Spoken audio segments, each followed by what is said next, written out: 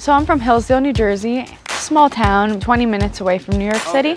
So I started gymnastics when I was three. So exciting! But I kind of realized at a certain age, I think I was about nine, that I could really pursue this and be really good.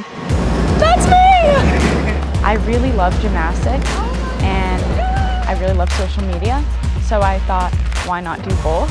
And LSU is the perfect school for that. I came here and my social media just kept growing from there.